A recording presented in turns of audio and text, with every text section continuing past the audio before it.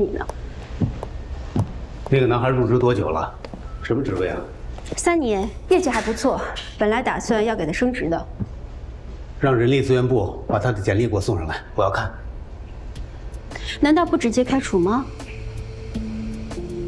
为什么？就因为他喜欢赵寻吗？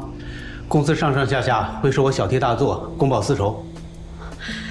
开除他是因为他攻击同事，违反了公司纪律，你怎么会觉得是公报私仇呢？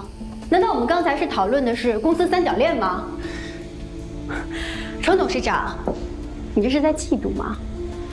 你不会真的觉得你跟他是在谈恋爱，把这个男孩当情敌吗？切，我会嫉妒他？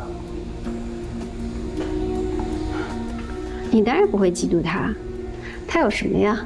他什么都不如你，除了年轻。哎，你说什么呢？哎，你回来，你回来，谁年轻啊？